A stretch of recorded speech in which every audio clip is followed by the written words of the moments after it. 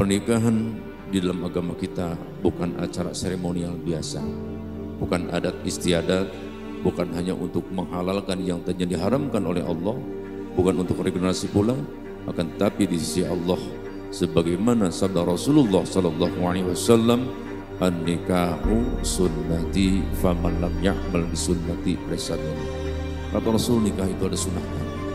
Barang siapa yang tidak melaksanakan sunnah kami nikah bukan golongan Rasul. Bukan golongan kami kata Rasul.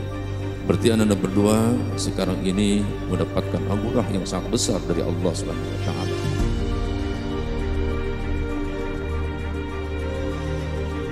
Bismillahirrahmanirrahim. Ananda Delpano Garis Rian Bapak nikahkan Ananda kepada Namira Sapia Azara putri kandung Bapak dengan mas kawin uang tunai 13 juta 112 1.100 dibayar tunai.